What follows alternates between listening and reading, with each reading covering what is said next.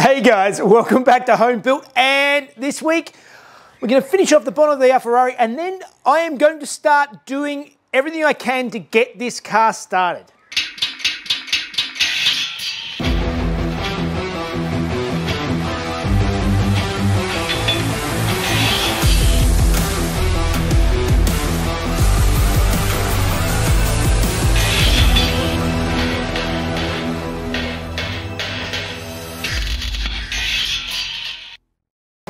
Right, guys, welcome back. And uh, those watching last week will have seen that I finally got the windows into the Ferrari and got it onto the ground. And how good does it look? I am so happy with the, uh, with the result. The external part of the Ferrari is very close to done. Besides it being filthy, it needs a wash and other things which can come later. That's low priority. If you missed it, I'll put a link up above so you can catch up. And as always, please think about subscribing. It really makes a difference. Um, few comments on last week. Uh, yeah, lots of people really uh, like the front end of the car coming together, which I really love. Some people uh, thought I should paint the horn rims uh, black so they're hidden behind the, behind the uh, grills. And I actually prefer the fact you can see them. It gives you this sort of large outer smaller inner, and then this sort of hidden sort of other rings in behind. I think, I think it really adds to the look of the car, so I'm quite happy with it, the way they are. Everything else is coming along quite well, just still waiting on springs and shocks, so that is something I'm gonna have to work on, but uh, I ran out of time last week, but we do need to do our last little thing on the cosmetics, and that is fit the bonnet to the car. So um, a little bit of work to do on that. Let's get into it. So to start with, I'm masking out the middle of the Lexan window just so that I don't get any overspray on it. And then go around and sand all the edges thoroughly, making sure that it's good keying so that the paint will stick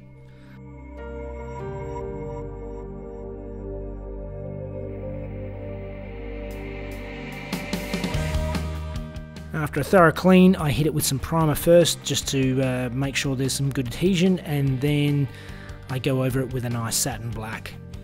Use the heat gun to uh, sort of speed up the process on these very cold days.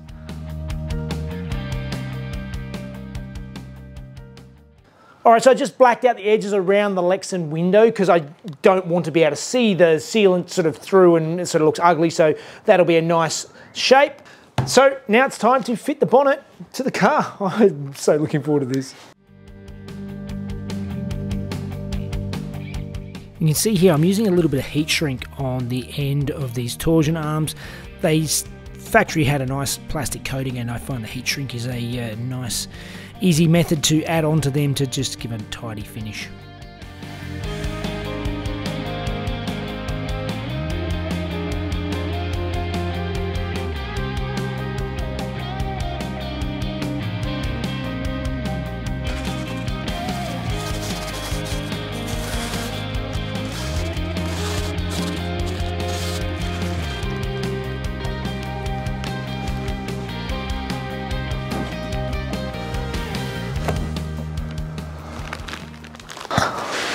Right, that is looking really, really, really good. That is exactly the vision that I had for this bonnet. With a couple of minor issues, let me take you over them now. So some of you might remember when I first made this bonnet bulge, it was this giant bulge and it looked really ugly, so I redid it, and this bulge is perfect. It's as big as I can possibly go uh, to make it look good. When I built it, there was at least a 10 mil gap. And for some reason now, I think maybe I didn't account for the gaskets and things inside uh, this whole plenum setup and all the rest of it. And now it's basically, it's, it's, I think it's pretty much, it is touching. So I am going to have to do something about that. And uh, I think I have a plan for that. I will show you now.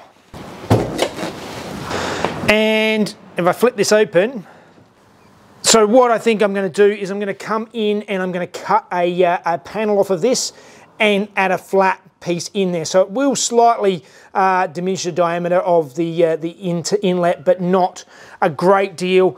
There's no other easy way to do this. I think the main thing is those that were following from the start will seen I already cut this um, inlet down about uh, 70 mil. I cut 70 mil out of those runners.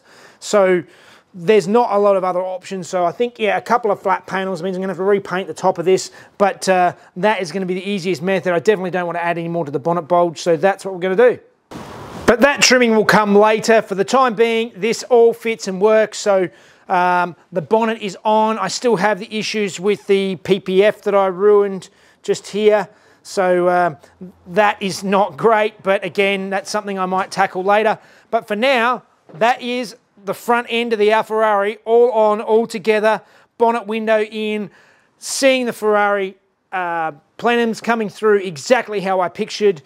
I am loving the front end of this car, and uh, yeah, it's, uh, it's exactly how I pictured it. All right, well, cosmetically, it is looking just the way I need it to, so that means now I am going to concentrate on doing everything I can to start getting that engine to run in that engine bay. Now, uh, there's still a bunch of things left to go to get it running. There's no fuel system in at the moment. Uh, there's still a lot of wiring to go. Uh, there's no battery in it. There's no uh, lots of things connected up. I don't have to worry about cooling right now because to start with, I just want to get it started. So the cooling can come later. But to start with, I'm going to need oil, I'm going to need fuel, and I'm going to need power. So let's start working on the fuel first.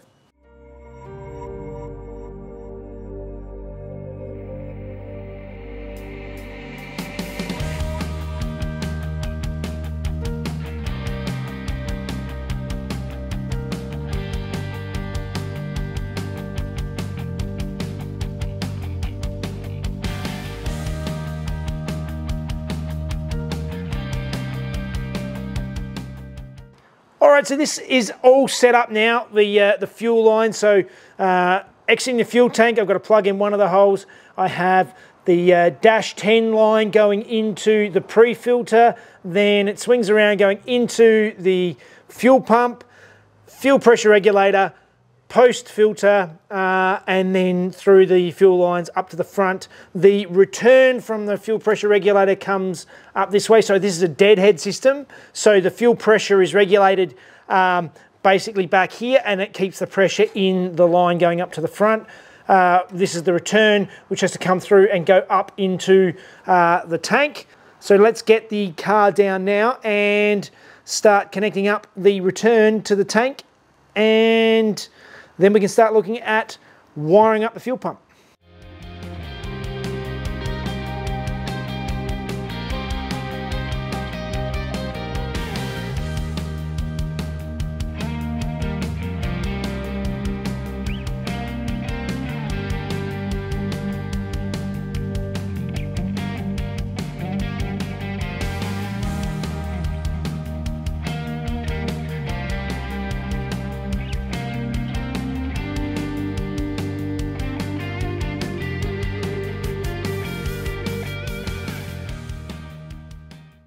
Okay, so these are the little things that take a whole lot of time. So, um, if I can get the camera to, to focus in here. Okay, so you can see here on my top of my fuel tank that's in here, I have my breather on this side. It has a Raceworks rollover valve on there and it goes through down under the car. So there's my breather. I need the breather, but I also need to have my fuel return. I, my other fitting, when I built the car, I didn't factor in the motor for the rear window, and that's what that is there. So um, if you can see that fitting sitting just, just below there, the motor that's above, I need to be able to get a fitting in that. But uh, I've just uh, got off the phone with Jamie at Raceworks and I'm going to get a banjo fitting to go into that. So hopefully it fits under the motor and uh, I can get it all the way back over to my other bulkhead fitting, which is here, uh, to go back under the car to the fuel pressure regulator. Raceworks uh, will probably have that out to me in a day or so. So the next thing I need to do is start looking at this bundle of wires in the boot here. And one of these wires is to my fuel pump. So I need to then set up my relay box, which goes in this corner here with the relay and the power for the fuel pump. All right, so now I'm gonna start trying to put in the rear relay box. Now I've got, um, to start with, I'm gonna put in three relays just because it's easier to do it now. I only really need the one for the fuel pump. That is gonna work relatively normally. Basically, your power comes in from the ECU. Uh, the wire is a little bit small. I don't wanna run the power straight from that. So basically all you do is this will switch on to main power and that's what a relay does. It's an electronically controlled switch, basically. So um, that can then switch on bigger power going to the pump, and I don't have to worry about sort of too much draw coming through the ECU, etc. Now, the, these other two relays are going to be for the exhaust valve. So um, if you've seen in the past, I built this car with a switchable exhaust. Now, I want relays for them and I need one to open the uh, exhaust and another one to close the exhaust. And I'm going to use the same method as um, electric window switches. Now, it took me a while to grasp how an electric window switch works because you basically have two wires going into a uh, electric motor, one positive, one negative. But to uh, make it go the other way, you need to switch that around. And then you've got positive and negative going in the opposite way, so the motor won't go in the opposite direction. That's the same with the exhaust valve. Now, I took me a while to understand how an electric window switch worked because you need to be able to switch both uh, terminals. So you almost need two switches to do one action. But um, the way you do it, it's, it's actually quite simple. So let me see if I can explain how electric window switches and how exhaust switches work. So um, in my exhaust, I have two separate buttons. Um, but electric windows are basically like two buttons or two switches uh, next to each other. They're generally linked in together, but they're still basically two separate switches that have just been put together. And basically, if you imagine one of the switches, you have two terminals in a switch, and a switch is either usually normally closed, and then when you press the switch, it connects to the other side and completes the circuit and you get the power going to the unit. So the way that electric window switches work, which took me a while to completely grasp, is that if you imagine on one side of the electric window switch, in its normally closed position, this terminal is negative, this terminal is positive, and same with the other side. In the off position, when you're not touching it, it's connecting negative through, and if you imagine my arm as actually um, the cable going to the motor, and there's one switch on this side, and there's another switch on the other side, so another cable going to the motor. So when you're not touching, it's actually getting negative to both sides of the motor, so it's not doing anything. As soon as you press the switch in one direction, it connects the positive, and then that goes down. So one side of the uh, motor gets positive, the other one's already got negative because it's not being touched, and that's how they work. So that is what I'm doing now with uh, the electric window switches. I'm going to do that with these uh, relays. It gets even more complicated and I won't go into it, but the, with how the passenger side obviously has the passenger side electric window switch and the driver side and they both work the same. That gets slightly more complicated, but it all still sort of makes sense. In any case, what I'm doing is I'm using the same principle on the exhaust valves. So uh, I'm going to connect up these relays and uh, yeah, if anybody was ever interested in that, hopefully that sort of makes a little bit more sense because it took me a while to, to work it out. So I'm going to wire up these relays now, get this relay box going. It's going to be fuel pump and exhaust valve open, exhaust valve closed, and then these ones will be for air conditioning. So uh, let's start wiring up a relay box.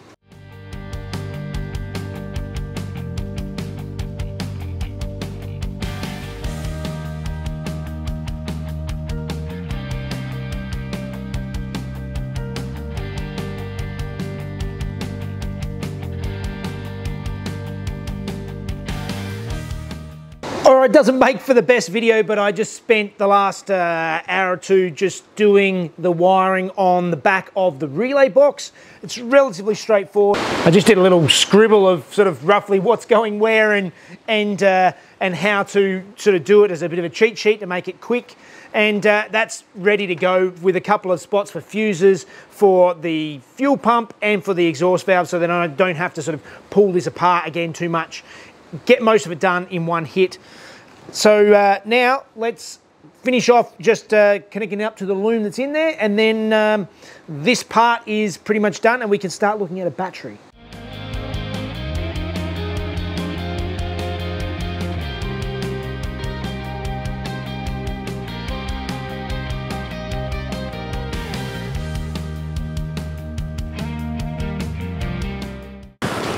I have my wiring done now. So the wiring comes through, goes through to the fuel pump, and that is all wired up. The relay's done. This is the wiring for the exhaust valves, which I can do later. So now I need to bring it down and uh, let's finish off that fuel system.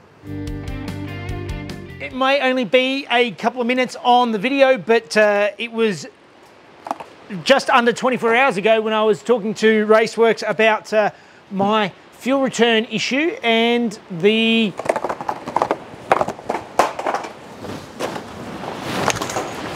the banjo bolt has turned up already uh, so fast uh, and uh, hopefully this is going to do the job so that I can get my fuel return into the tank underneath that motor. So fingers crossed it will fit Okay, and that worked perfectly. So the banjo fitting fit on. I actually opened up the little access port back there, which is how you put the uh, rear suspension in. And uh, that all comes down through to my bulkhead fittings going through underneath the car and then to the fuel pump, return and uh, the breathers. All right, so now I'm going to fit my battery to the car. I'm using an Optima battery. I've used the same one in Harry for quite a while, um, yellow top. I like these things. You can mount them anyway. They don't leak, and uh, they last sort of sort of three times longer than than the regular batteries. And uh, it's a testament on Harry. I leave Harry sitting for you know several weeks at a time, not on the uh, battery tender. I do have one, but I just always forget to put it on. I think I'm going to use it again, and then it sits three or four weeks. No drums, always starts up. Never had a problem with uh, running the battery down. So uh, this is going to be a good option for the Alfa and uh, it's a good colour too. So uh, let's get this fitted in there and then get some cables mounted up somehow to uh, the car, which actually makes me think, maybe before I put it in, I need to work out how I'm going to fit my negative cable to the car. I need to make a battery terminal mount. You see what I mean?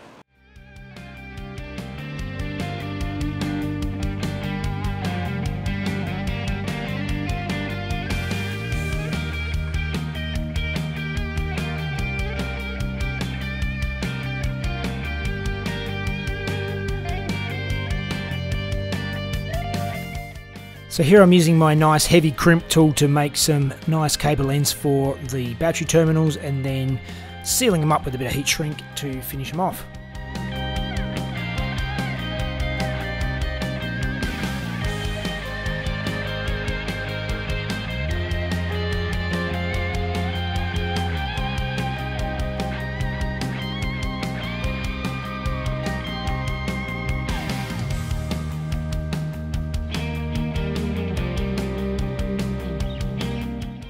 That's negative cable done and now we just finish off the positive cable that we've already laid in all the way up to the alternator.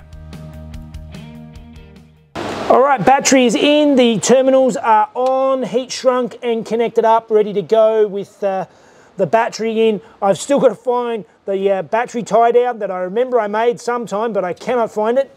But uh, we can leave that in for now and move forward to the engine bay.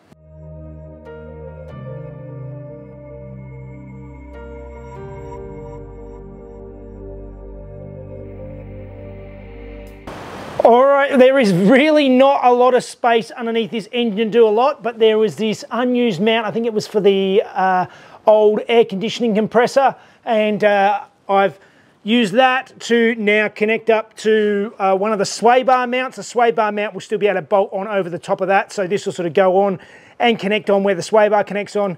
There's a nice, good, solid uh, grounding strap to the engine itself. So uh, I think that part is done. I still can't believe how good this looks. I am annoyed about the bonnet that I'm going to have to uh, trim those plenums again and uh, and sort of make a, uh, a recess and a clearance for them to fit the bonnet. But that's details. It's all uh, it's all doable. It just means I have to repaint the end of the uh, the plenums again. It's not it's not the end of the world. Overall, this thing is coming up amazing. Uh, the grounding strap now is in. All of the battery wiring is in. The fuel pump relay and wiring is in. So that side of things is all pretty much ready to go. There are still a few more things that I need to do before I can even start thinking about trying to start it, which uh, hopefully I'll tackle next week. No promises that I'm going to start it next week, but I am ticking all those things off. I need got a fair bit to do with making sure the oiling system is going to all work properly and things like that. So uh, stay tuned for that. Hopefully you'll join me next week. But uh, that's all the time I have this week, so I think that means it's time for Fun Facts with Mrs. Jeff.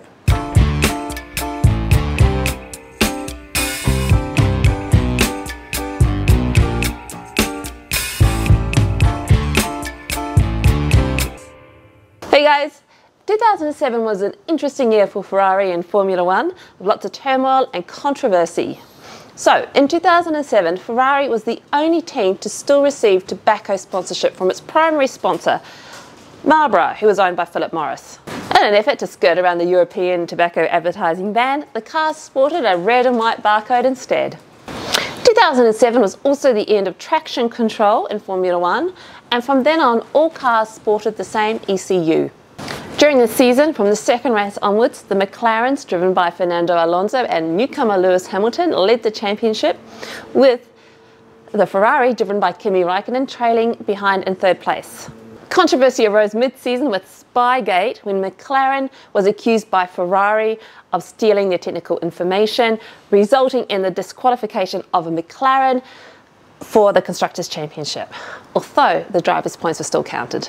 It came down to the final race of the season with Kimi Raikkonen winning the Drivers' Championship by one point and Lewis Hamilton and Fernando Alonso tying in second place. And 2007 still stands as the last season during which Ferrari won a Drivers' Championship. Oh, I'm loving the look of the bonnet. It is annoying that I'm going to have to attack those plenums again and get it so that I can actually have a little bit more clearance. The engine uh, is on very tight um, engine mounts that I put in, so so it's not going to move a lot, but obviously it's going to move. And uh, yeah, that can't stay like it is, but uh, I can fix that in the future. For now, that's not a big problem because we're not driving it yet. So uh, That gives you something to be going on with. it, it certainly does. I mean. Not that you're struggling to find things. It's close. It's only two weeks away now uh, to the event, and uh, I do have the coilovers now. They're ready to go in next week, and there's a few other little uh, cosmetic touch-ups, and I'm going to be doing everything I can to try and get this thing to uh, at least crank over and see how that goes. So, hopefully, you'll join me for that next week.